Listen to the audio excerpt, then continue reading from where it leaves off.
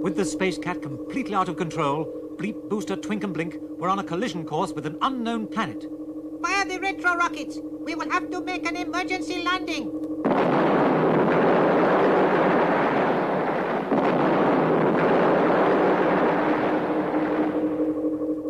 In the passenger cabin, Twink and Blink clung together as the Space Cat hovered precariously over rocks and craters and Bleep began his emergency landing.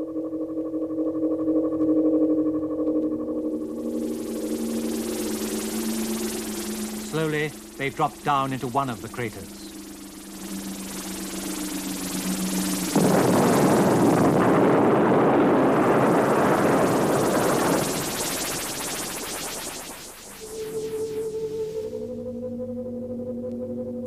As they climbed out, the steep sides of the crater towered above them. We'd better get out of here.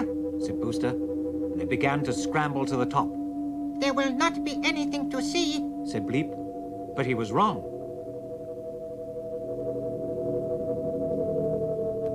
As they peered over the rim, Booster whistled.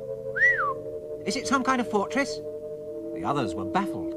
They'd never seen anything like the high circular wall with no sign of entrance or windows. They began running towards it, I, I, I thought I saw the top of a space rocket inside. panted Bleep. Let us hope that they are friendly. Look, there's a notice on the wall. They gathered round it. Entry forbidden. Project X. Danger, keep out, it read. Keep out. We cannot get in. Suddenly, Booster pointed overhead. A strange object that had seemed to be part of the wall was rising slowly into the air. More and more spheres detached themselves from the wall, hovering overhead in a menacing way. Then one floated directly towards them.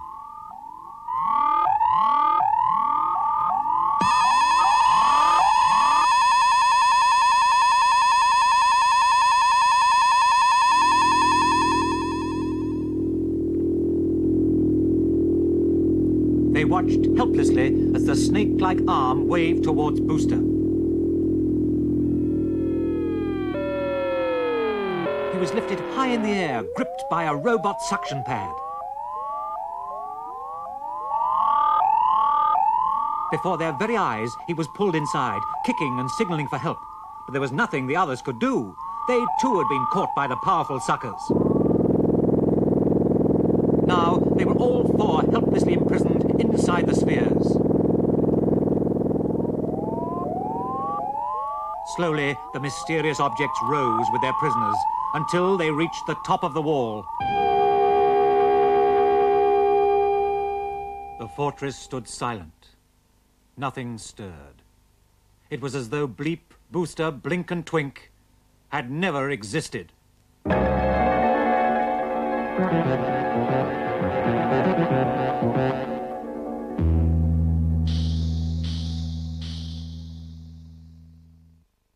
The strange fortress